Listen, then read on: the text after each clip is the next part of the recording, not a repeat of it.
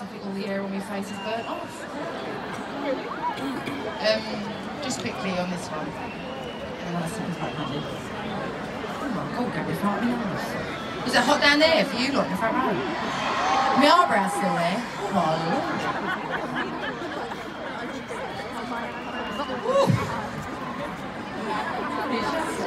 this um this next one is um I always get very nervous singing this one. I think it's because... Hey? I can't see anything It's got dark. All I can see the spotlight. Oh, they are you put the light on them, yeah?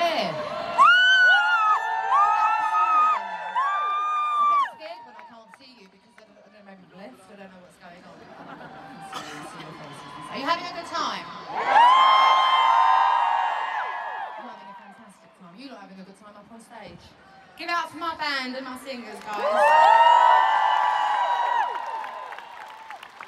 I get, um, I get really, um, really, really nervous um, when I sing this song. Not that I've sung it that many times, but um, I thought if I put it towards, like after like halfway, whatever, I thought maybe I wouldn't be so nervous. But I was, um, I was so, um, I was so vulnerable when I wrote this song, and I wasn't sure if it was uh, something like you were going to hear from me at that point.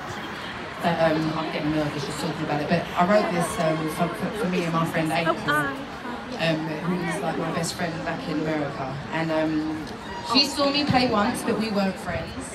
And um, she hasn't seen me on stage since we've been so close and stuff like that. And I owe her, I owe her pretty much my life for putting me back together after um, a really difficult couple of years. And she's here tonight.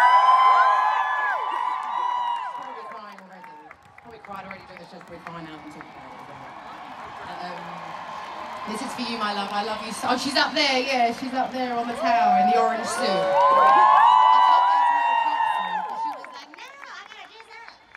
But um, this is for you. I love you, and um, you're the best mum. You're the best friend, and I love you so much. And, uh, and also, if it wasn't for April, I wouldn't have met Rich, who I'm like wildly in love with and obsessed with. So,